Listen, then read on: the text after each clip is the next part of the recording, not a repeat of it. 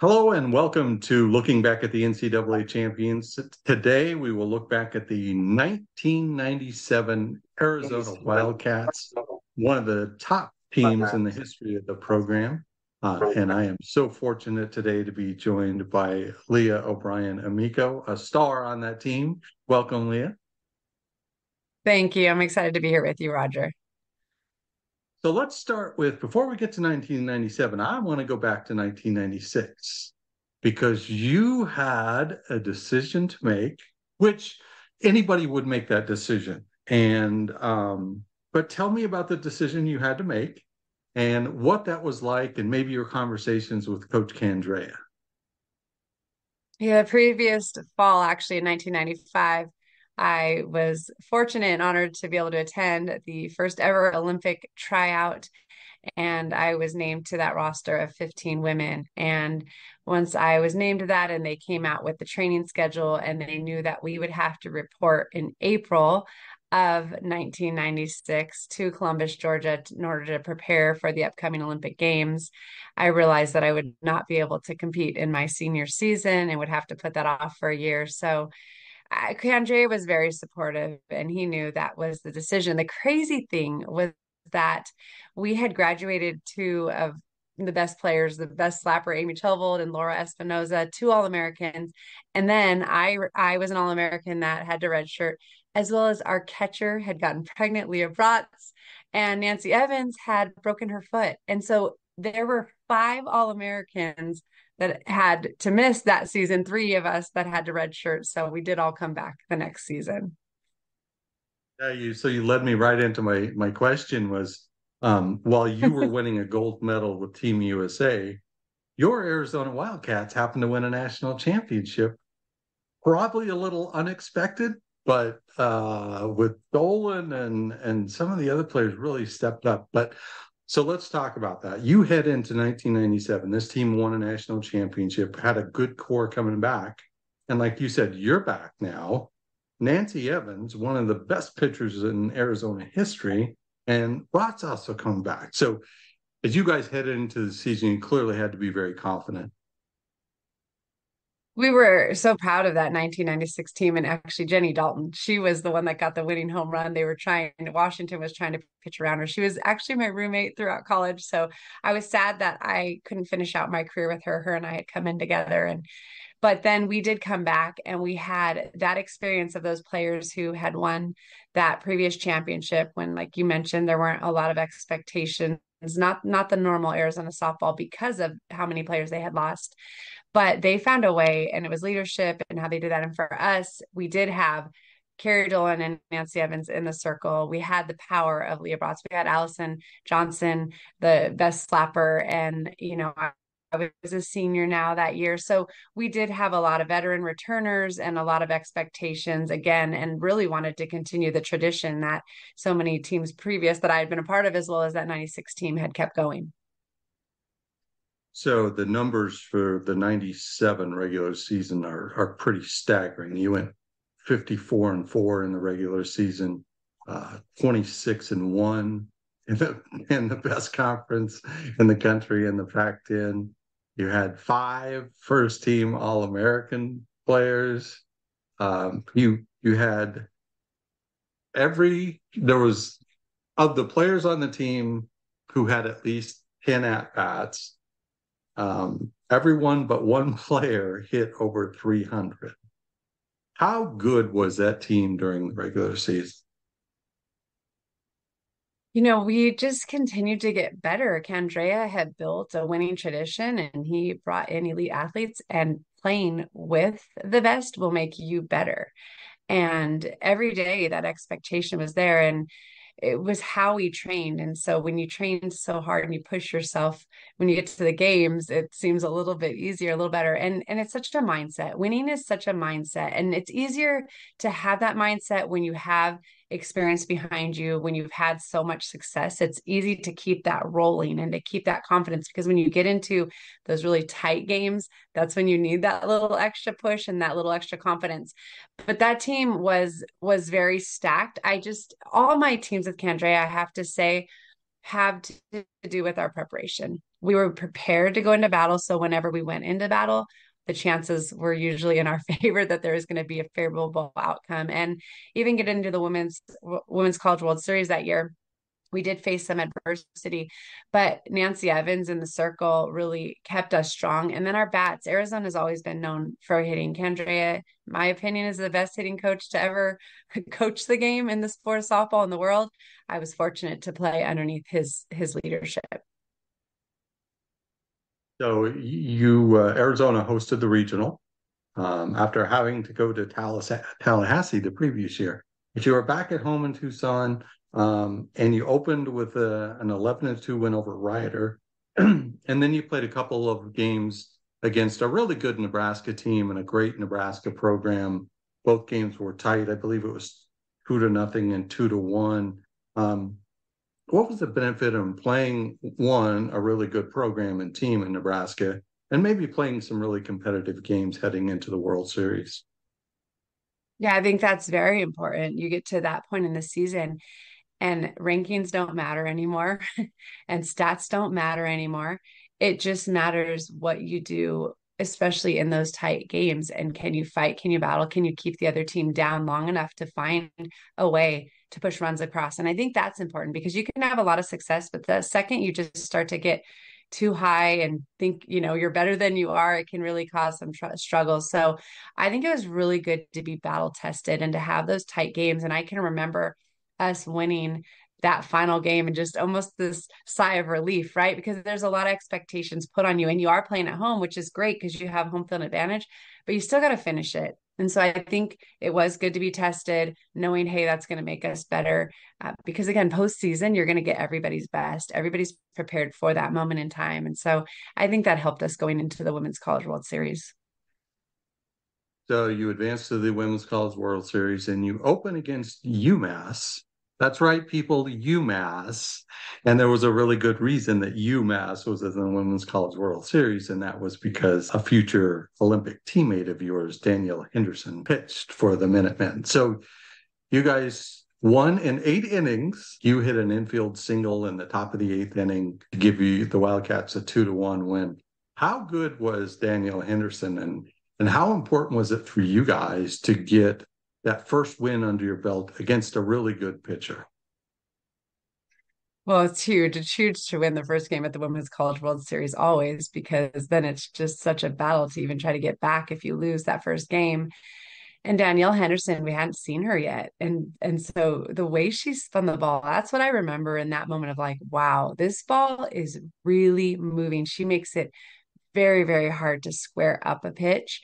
And it was Allison Johnson, our speedy leadoff hitter, that had gotten onto third base. And honestly, my swing was not pretty at all. There's like picture that Candrea has of that swing. And I'm like, here's the thing. You realize that as long as you can get your barrel to where it needs to be, it doesn't really matter what it looks like because it was just enough to push it to that left side to that five six hole to be able to bring her across and and for us to be able to pull out that win. And again there was relief there was thankfulness there was excitement but I did go on to play and win a gold medal with Danielle Henderson and I realized how good she really was and she was one of those athletes that flew under the radar and not a lot of people knew about her. So she's so hard to hit but especially that first time that you see her and you don't know what she has so game two for the Wildcats is your familiar friends from Westwood. It was Arizona and UCLA in game two. And this was probably one of the best games in uh, Women's College World Series. It went 14 innings.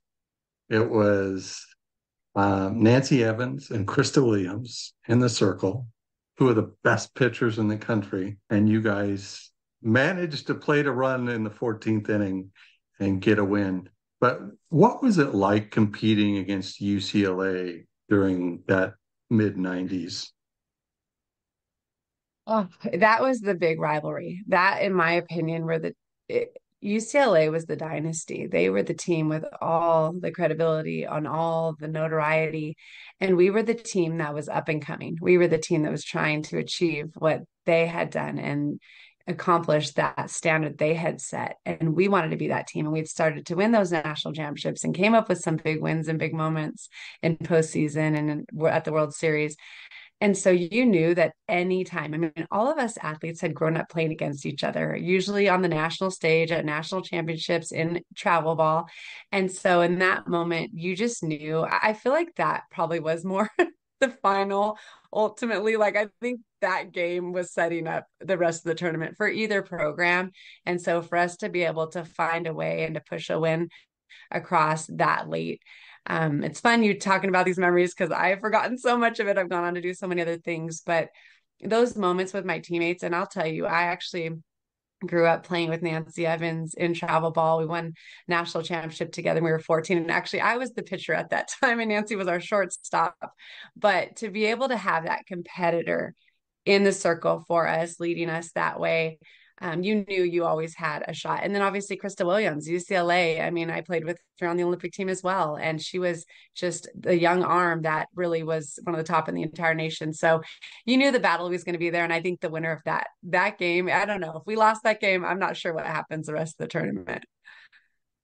Well, the next game you actually did lose, and maybe it was a UCLA hangover, but part of it was a really, really, really good Fresno State team. You lost that game, it was three to nothing, but that was when you played immediately after. So you lost to Fresno because that was your first loss. You turned around and played them immediately. And you came away with a six to three win in that second game.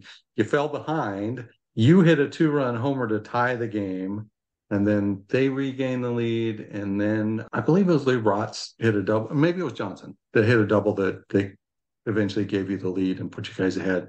But Fresno had a really, really good team as well. And so two two parts.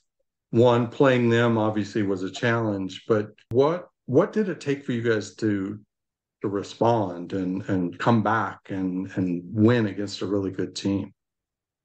Well, that's why I think it was so important that we were in the winners bracket in that situation because it did give us that chance that it wasn't lose and go home. And so when we did drop that, I'll never forget that. That's probably one of the few games I can remember where after the game, Candrea sat us down and immediately was talking about how we were going to approach the next game and we're going to win.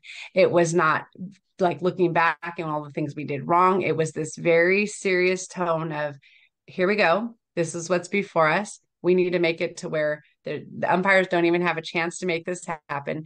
This team over here right now, they think they have the momentum. It's your chance to come back and to be able to to take it back from them. And so I think being able to face them again immediately afterward, I think really was that idea of that revenge and that wanting it more. And like you said, they were playing with that momentum. They always, Fresno always during the years I played had a top program in the nation. And Margie Wright knew how to prepare her athletes as well. And so I, I think it, it really was that back and forth and digging deep and ultimately coach just preparing us and saying, I just remember thinking, I'm so glad he's our leader because he knew the sensitivity in that moment that when we were already down, he was just right there to lift us up and say, let's keep moving forward. We still got another chance and we're going to win. So it was huge. Amazing. So for the fifth time in seven years, UCLA and Arizona in the national championship game. And I, I don't think um, you could have possibly, this was beyond your wildest dreams, I would imagine two innings in, you're up six to nothing, and you beat them 10 to 2. First run rule game in uh, national championship history against your arch rival. I don't, I don't know if we could get much better than that, right? You know, I think once we got that big quick start, I think you're just like, whoa, like in that at that point, you're like, okay.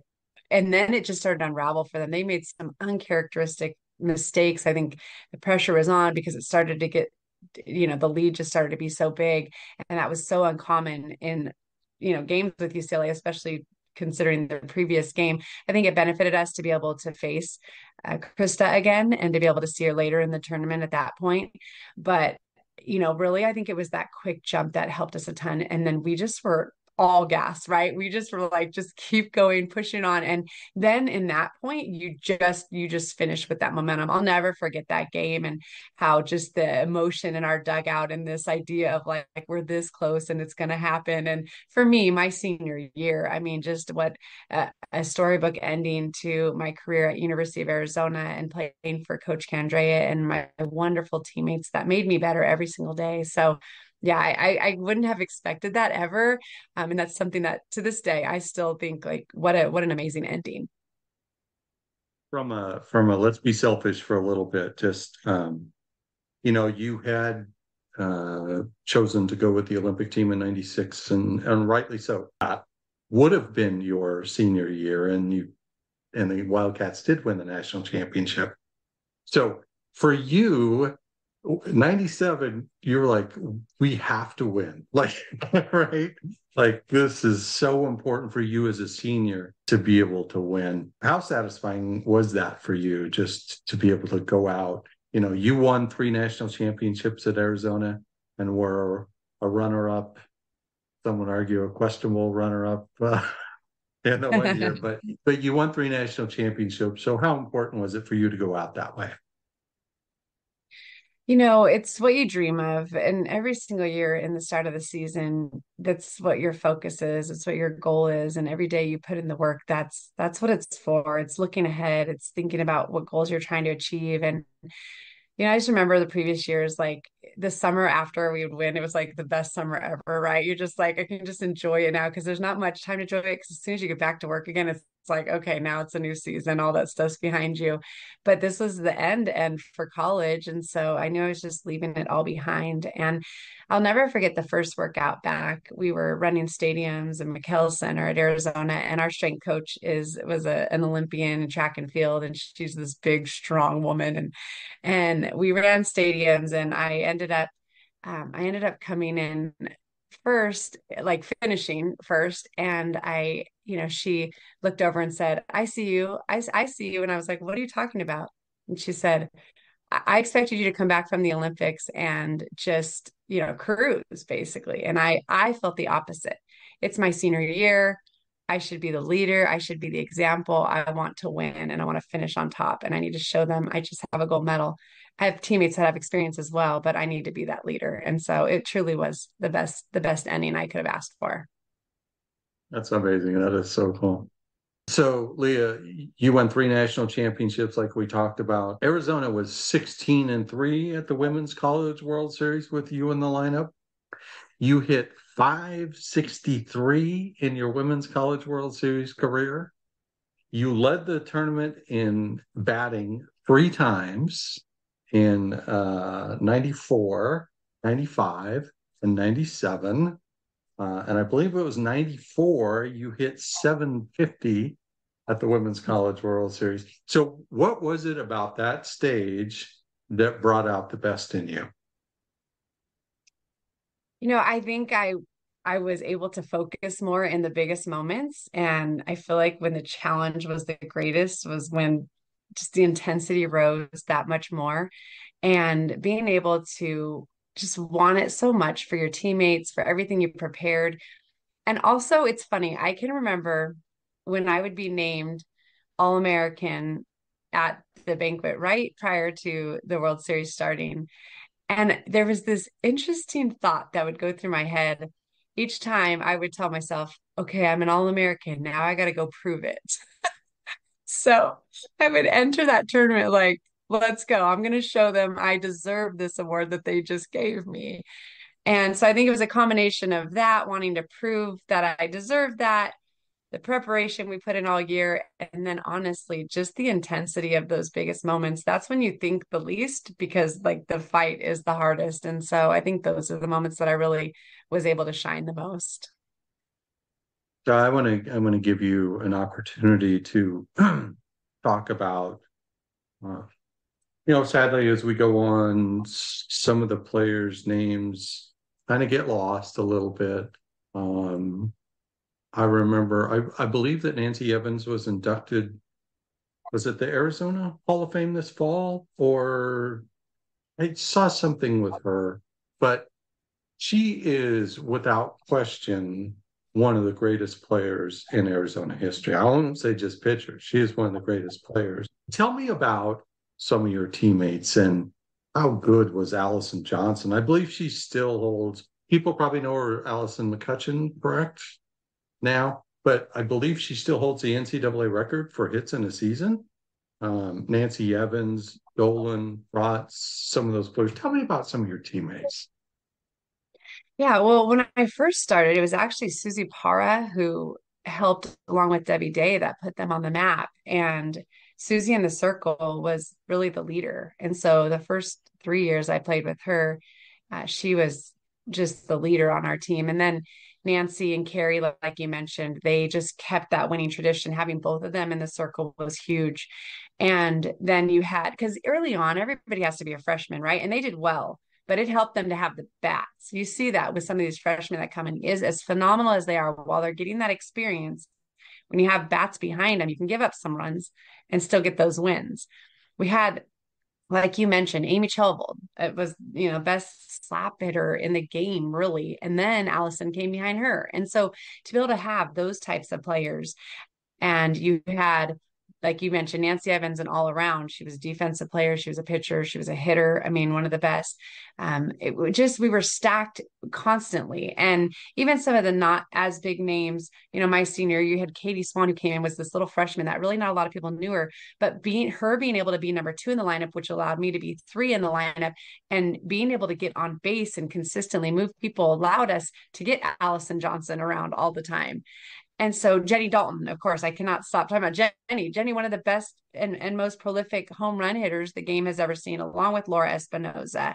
And so when you look at these players that were defensively up the middle and then the outfield that we had and the speed, at that point, I believe we had the most well balanced teams. We had the quickest, fastest, best slap hitters who had the best back control you've seen and then you had the power home run hitters that you get people on base and they can just you know put you up by a lot in a quick amount of time. And so you know and some of those national championship games you know you're facing amanda scott from arizona or from fresno state. And you know I, she was in the usa program as well and she would always say you know when our big bats weren't doing it, she would say, I'd hate those little slap lefty hitters that were just the ones that would put the barrel of the ball because she liked the big swings. She felt like she could get her ball to miss the big swings. And so having that mix, it just gave you so many different options. And we ran a lot, we stole a lot, we turned a lot of double plays.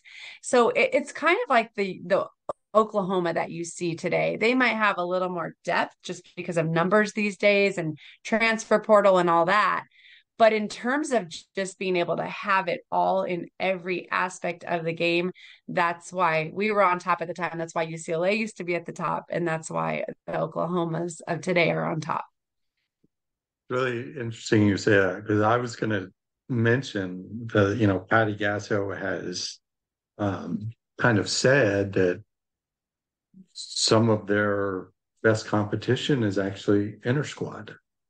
And for you, it it could have been the same way. Let's finish with this. I don't think there's any question that Mike Candrea is is the greatest college coach in history. Some people would argue with that, and you know, if Patty Gasso wins three or four more national championships, maybe so. But as of right now, I, I think Mike is the guy. So tell me what it was like to play for him.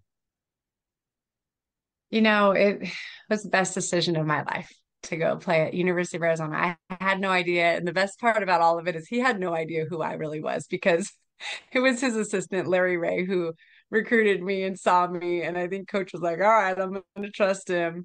And even when I came in, they said, we have five five people we're looking at and we have two scholarships and whoever says yes first that's who gets it and so playing for mike candrea he's like a dad he's the best leader the best example he sets the standard so high, but he gives you every opportunity to reach that standard by preparing you to be your best. He believes in you. He doesn't let you get too high or too low.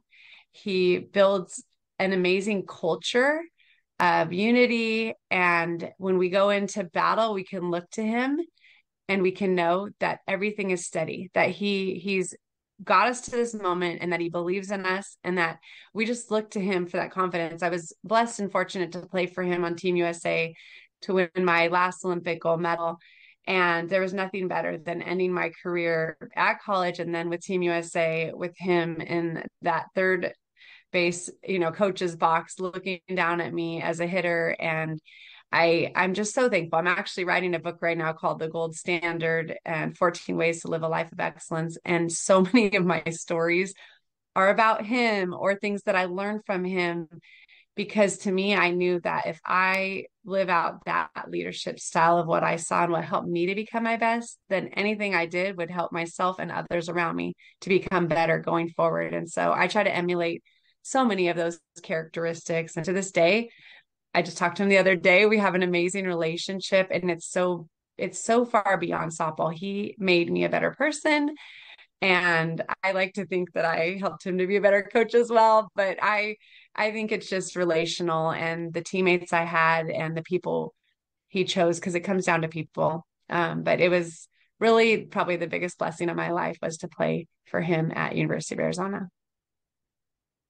Well, he is uh, a treasure um, in the softball world. Um, I, I, love how engaged he still is, um, and he is one of those people that a coach from whatever school it is can pick up the phone and call Mike, and he will help them, and however he can, whether it's advice or whether it's a drill or whatever it might be.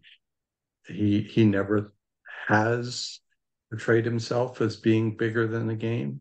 And although he is the best, he's just an amazing individual. And I crossed paths with him a couple times at the Women's College World Series and consider myself fortunate to to have sat next to him and and listened to him. So I I know how fortunate you feel to to have played for him. So it's an amazing, amazing man.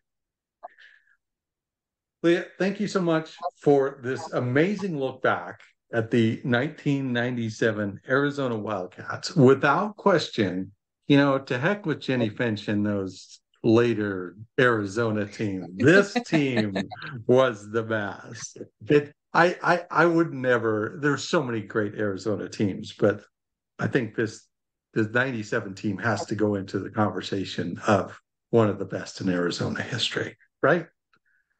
Yeah, I think it's I think it's up there. It is hard when I think back to the different years. It is hard, but they all had their different yeah, different players, different experiences and, and for sure it has to be up there with the numbers that we put up and like you mentioned the winning record that we had. I think it has to be towards the top. Uh, but Leah, thank you so much for taking the time to to jump on with me and and thank you for all your remembrances. And uh, hopefully, it's been a fr- fun uh, stroll down memory lane for you as well. But thank you very much. Thank you, Roger. And it was because I've forgotten a lot of that stuff. So it was fun hearing you replay it to me. And I'm like, oh, yes, that did happen. So thank you for what you're doing and covering just the past. I know people before me were allowed allowed me to be able to play at that level. And I know that's continued to grow and grow. So I just I'm thankful for people like you putting a spotlight on those past teams.